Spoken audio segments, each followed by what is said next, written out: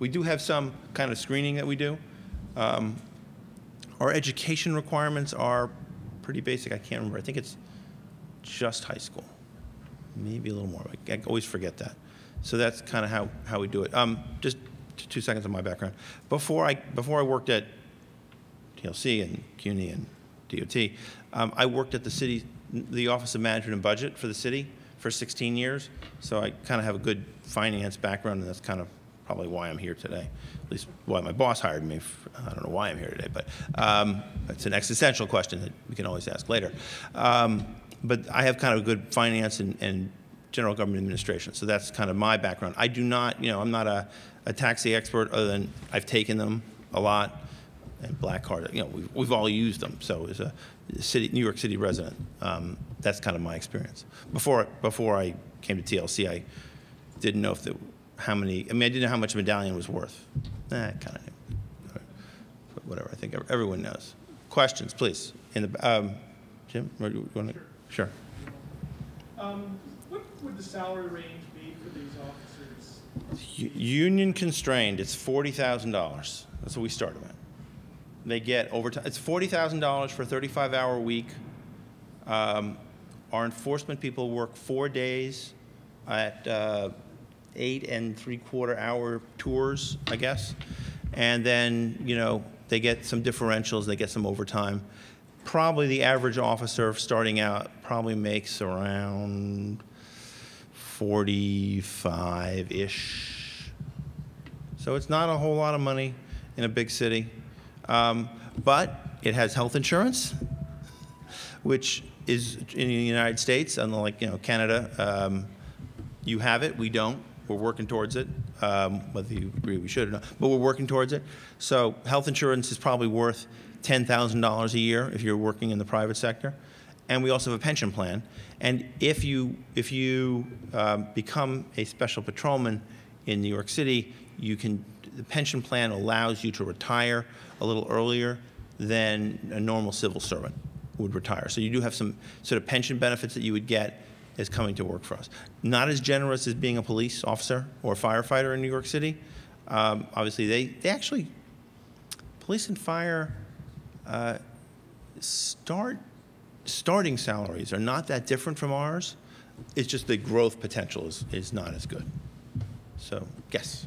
Hi, I'm an enforcement officer in the city of Toronto, been doing so for about 15 years. Okay. Um, Just one quick question, you had mentioned that taxi drivers are always charged um, if they don't take people to a particular location, based on what you say, gender or race.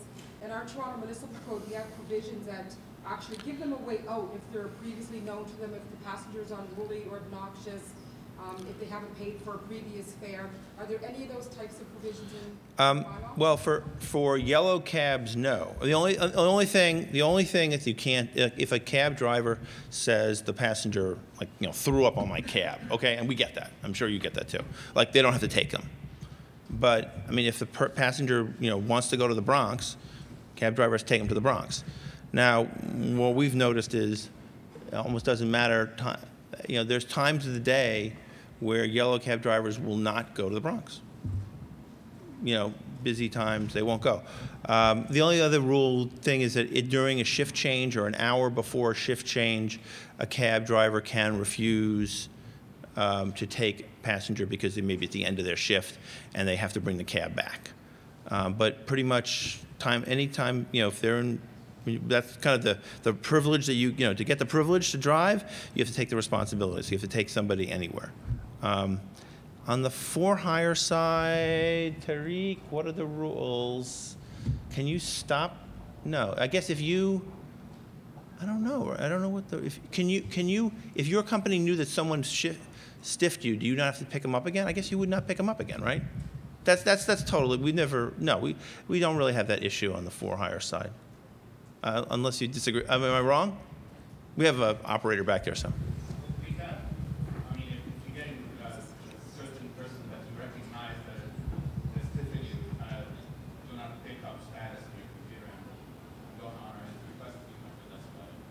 Yeah, I don't think. We, it's, it's, we do not discourage our uh, drivers to call the police on our customers. Yeah. I'm, once, in we do get complaints on, on the for-hire side that, you know, passengers, you know, someone picked them up and they want to get paid, they wanted, the driver wants to get paid in advance, which they shouldn't, they have to get paid at the end of the trip. Um, That does happen every once in a while. Um, But whatever, I'm, I'm, no, I think I missed, yes, yes. Yeah, I was just curious as to what other types of agencies the peace officers work for. Oh, peace officers are all over the place. Uh, Our corrections officers are considered peace officers. Um, We have uh, other types of inspectors from different departments make, sometimes, some of them may be peace officers, not all of them. Some people at the buildings department or at the transportation department where I worked, we do an inspection of street cuts, you know, uh, you know, contractors cutting up the street. Some of those people may be peace officers. Um, the um, special patrolmen, like the people who issue tickets, ticket, the traffic enforcement agents are considered special patrolmen, but they may not all be peace officers. So it's a mix of, of people. We're not the, we're pretty, we're pretty small in the, in the, the peace officers are pretty big, pretty big universe. And, and the salary range is pretty big on them too. So corrections officers does a lot better than our typical inspector. Yes? What personality traits do you try to screen out?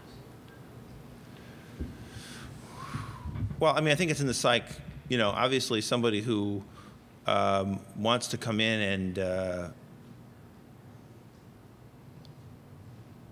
you know, uh, you know, someone, and, and this is kind of hard to see, you know, initially, I think, um, who, who doesn't really have sort of a good customer service kind of ability. Um, we probably would tell them, you know, you know, if you really want to be a cop, take the police exam. You want to be a correctional officer, take, you know, we do, we do enforcement, but we do it in a way that is, you know, we don't, we don't carry weapons. So we try to make sure that you understand kind of what your role is. We don't want people going chasing after people. I mean, we do have lights and sirens in our cars, um, but we don't, we don't do pursuits. You know, people who are like chasing after other cars, not a good scene, just not, not what we're about.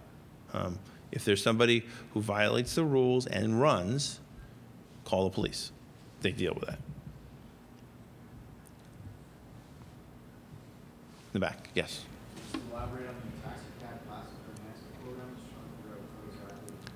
What is it? Well, you can actually see, there's two of them being demonstrated. There's, there's Verifone behind you, and there's CMT in front of you. Um, That's, that's basically the device in the cab uh, that we put in, when? 2007? 2008? Seven, seven? Six, seven, right. I mean, bas- basically, it's a, it's a, it's a, it's kind of a system of devices that, that allow the passenger to pay for the trip with a credit card if they want. Uh, gives them some entertainment, you know, that they have a screen in the ve- vehicle. Um, and it also has a device in, with the driver, we call a DIM, which we can send text messages to the driver about traffic or enforcement information that we need to tell them. You know, if, if we get a call from Yo-Yo Ma that he lost his cello, we did do that, right? Yes. Um, we could send a text, and he had his credit card receipt. We could check, Jesse could check for us. Uh, we can check. Um, I shouldn't pick on people, I'm sorry. Um, you know, we can check our system. It said, yes, this credit card was used on this trip from A to B. That was hack number 4A26. We can send a message to 4A26. Do you have this cello? You know, come back.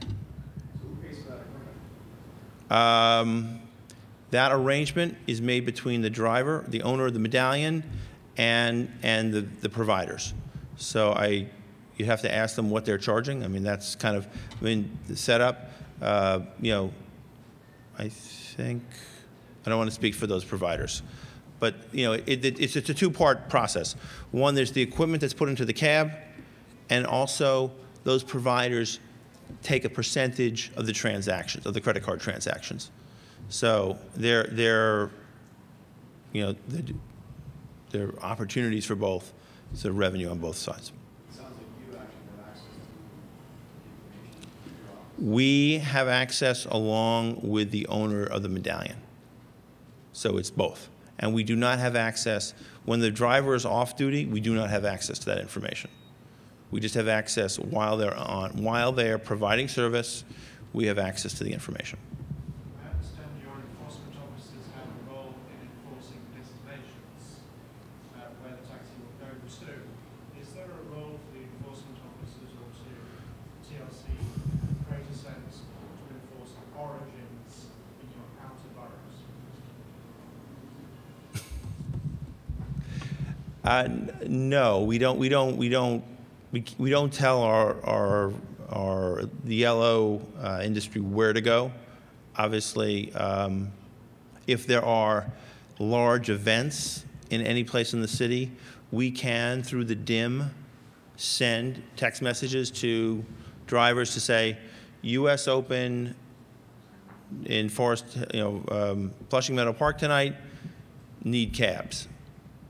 Um, but there's no, um, we can't find, you know, we, we don't violate anybody for, for not going to the US Open. That's not, that's not how we do our business. Um, so, any other questions? I hope I entertained you. But thank you for having me.